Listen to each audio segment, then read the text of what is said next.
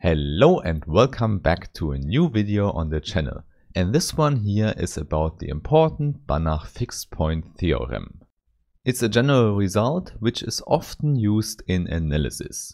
For example, I use it here in my ordinary differential equations course to show uniqueness of solutions under some conditions. And it is also used in other courses Therefore, it's useful to have such a separate video about this theorem. And here I will talk about the statement and I will show you the proof of the Banach fixed point theorem. However, before we start, I really want to thank all the nice people who support the channel on Steady, here on YouTube or via other means. Only because of your support, I'm able to make such math videos here. And as a supporter, you get a lot of additional material just click the link in the description. With that said, let's start with the Banach fixed point theorem and I can already tell you we need two key elements for it. The first thing is a complete metric space we can call X. More precisely, we should say we have a pair XD, which is a metric space, and it is also complete. If you have never seen that, I can appease you because it's not complicated at all we just have a set x and a metric d, which means we can measure distances inside the set x with this distance function d. So if you have two points, x and x tilde, you know what the distance between them is. And indeed, it's always a positive real number, and only in the case that x and x tilde are equal, we have the distance 0. And this is important to remember, this is the only case where the distance is allowed to be zero. For all other cases, as I said, it's a positive real number. Moreover, we also have two additional natural properties for this distance function. On the one hand, we have a symmetry, so it does not matter if we measure from x to x tilde or from x tilde to x. And on the other hand, we have the famous triangle inequality, which means when we go a detour, the distance will not get smaller. Okay, so this is a metric space in a nutshell, and now you know we can measure distances in the set X.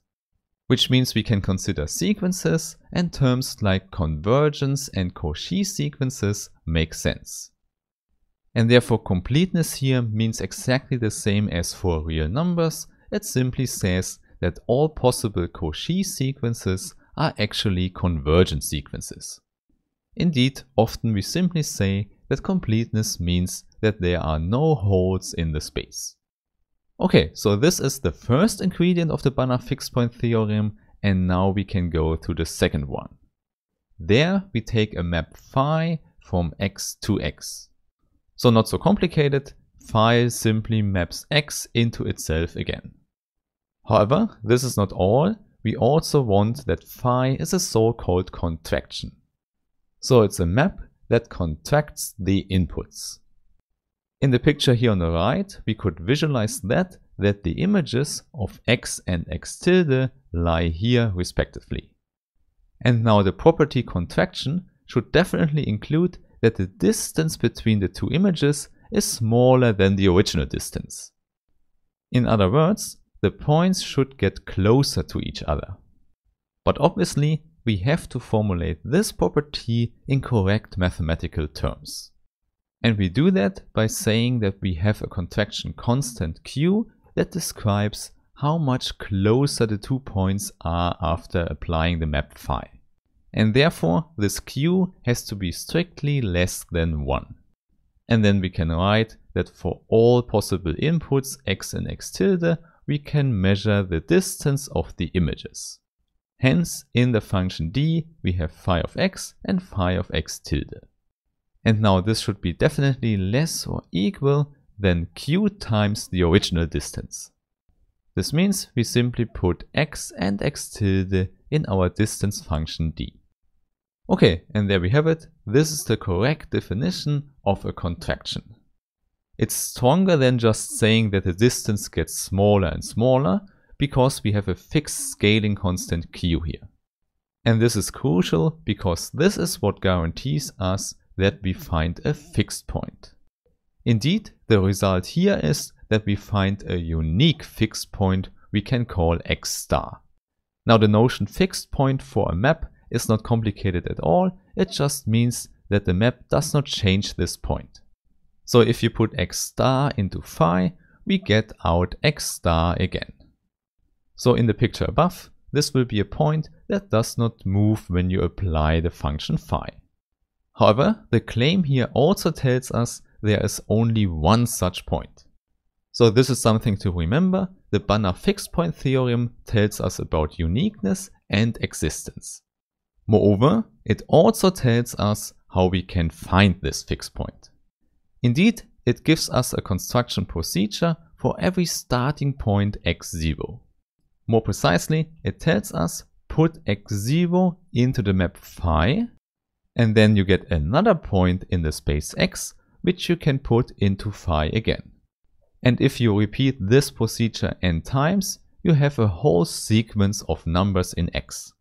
And now the claim is that this sequence converges to our fixed point x star. And this works no matter which starting point x0 we choose. So this is definitely something we want to prove here.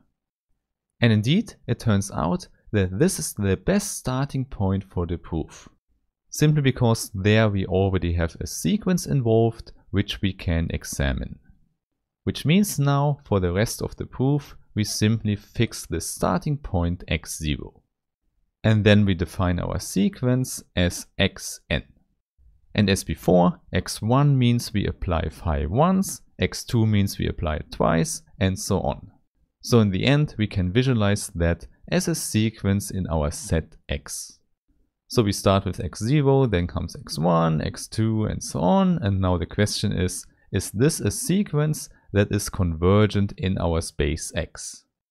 And since we have the completeness property of the metric space, we can also ask if this sequence xn is a Cauchy sequence. Indeed, in order to check for a Cauchy sequence, we don't need to know the limit first. So this makes everything much easier because we just have to check the distance between two members. And maybe let's start the calculation for two neighbors. So let's write xn plus 1 and xn. Or in other words, what happens if we apply the map phi once? And in fact, we can just go one step down here because xn plus 1 is simply phi of xn. And similarly, we have that xn is simply phi of xn minus 1. And with that, we now have the map phi in the distance function, and we can use the property of the contraction. Hence, we get an inequality with the constant q involved. More concretely, we have q times the distance between xn and xn minus 1. And now you should see, here on the right hand side, we can do the same step with the map phi again. The only difference now is that we have the factor q in front and the index is one smaller. So in the first component here we have xn minus 1 and in the second now xn minus 2. And now again we can use the property of the contraction, which means we have less or equal and then q times q. So we have q squared times the distance and there the index is by 1 reduced, so we have xn minus 1 and xn minus 2 again. And now you should see, we can repeat this whole calculation as often as we need it. And then in the last step, what we get is q to the power n times the distance between x1 and x0. And as you might already know, these dots here just represent a formal proof by induction. In other words, now we have a very nice formula which holds for every n in n. And the result is that we have an estimate for the distance of two neighboring members. This is very nice, but not good enough to show that the whole sequence is a Cauchy sequence. There we need to know all possible distances between all members. So for example, if we pick an index m here and an index n there, we need to know the distance between xn and xm. So indeed, this here is the distance we want. However, at this point, we only know distances between neighbors. And there you should already see the idea. We can just measure the distance we get by this detour and then we know by the triangle inequality that this distance is longer or equal than the distance we want. So more formally, we can write that for two indices n and m, where n is greater than m, we want to have an estimate for d of xn with xm. And now we simply use the triangle inequality to go the detour. Indeed, we use it many times, namely for all the neighbors in between. So first we go xn to xn minus 1, then we go from xn minus 1 to xn minus 2 and measure the distance there. And then you should already see this continues until we reach our point m. So the last one here in the row would be going from xm plus 1 to xm. So the whole idea here is really simple, we just go step by step. And now the good thing is, for each entry here, we can use the formula from above. So for example, the first one here has the index n and n minus 1, which means the index, the power of q, is n minus 1. And then you already see the second one is one smaller, so we have q to the power n minus 2 there. And again, this simply continues until we have our last neighbors there. And in fact, there it's easy to see, we simply have q to the power m. And please don't forget, every part here also has the factor d of x1 and x0. Hence we can just put parentheses and multiply with this factor. And there you see, this is already a nice formula for the distance between two members. And now since m is the smallest power we have here, we can also pull out q to the power m. This means here we just have to reduce all the powers by m. And now obviously it might be easier to write this with a sum symbol. So there we can say we go from k is equal to 0 to n minus 1 minus m. And then we simply have q to the power k here. And now you should see we hit all the terms and we have a geometric sum here. And now since our q here is between 0 and 1, we know that the whole sum here can be estimated by the series. More precisely, we don't get smaller if we sum up more elements. And there we can use the famous formula, the closed form for the geometric series, which you might know is just 1 divided by 1 minus q. If you don't know that, please watch my real analysis course. Okay, and now you see we can combine everything and we get a nice formula for the distance between xn and xm. Namely, it's bounded by above by the constant q to the power m divided by 1 minus q and multiplied by the distance of the first two neighbors. And that's it. And we already see this one here gets very small if m gets big. Simply because q is strictly less than 1. And indeed, this already shows that our sequence xn is a Cauchy sequence. If you don't see it immediately, please check the definition for a Cauchy sequence and choose a fixed epsilon and then try to find a good index capital N by using this formula. However, to be more quick, we can just say this is a Cauchy sequence simply because this distance goes to zero when n and m tend to infinity. This is simply the fast way to describe a Cauchy sequence. Okay, but with that we have it because we know the space X is complete. And the completeness tells us that every Cauchy sequence is a convergent sequence. Which means that our sequence xn has a limit which is always unique and we can call it x star. And now the only thing that remains to check is that this x star is a fixed point for phi and also the only one. However, this now is really quick because we just have to put the point into the map phi. And there we can just rewrite x star as the limit of the sequence. And there we can also use something we have learned in the real analysis course. Namely, for continuous functions we can pull out the limit. And in fact, continuity for metric spaces is defined exactly in the same way as for real numbers.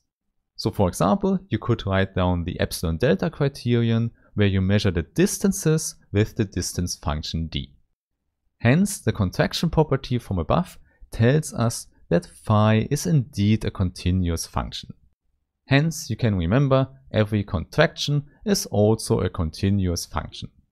And then it's allowed to pull out the limit from the map. And then what we get is the limit of a new sequence given by phi of xn. However, this one is simply xn plus 1.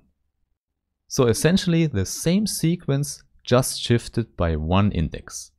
And obviously this cannot change the limit, we still get out x star here. And there we have it, x star is definitely a fixed point for the map phi. And now in order to end this proof, we just have to show that there is no second one. And there I would say, let's prove this in general. Let's assume we have a map phi with the property that we have a number q such that this inequality is always satisfied. And in addition, we say we have two fixed points, x star and x hat. And now we can see what happens if we assume that x star is unequal to x hat. Then this implies that we can calculate the distance between both points. In particular, it's a number that is not equal to 0. However, since we have fixed points, we can also substitute that with the images of phi. So we have the distance between phi of x star and phi of x hat. And now by the assumption for the map phi, we know that we can estimate this with this factor q. So in other words, it's simply less or equal than q times times the same distance as before. And by assumption, this is a positive number, so we can just divide both sides by it. And now this division tells us that we have 1 is less or equal than q. So in conclusion, having two fixed points implies that we don't have a contraction. Hence, by using our logical contraposition, we can say if we know that q is less than 1, it implies that the two fixed points are the same. And there you see, this shows our uniqueness.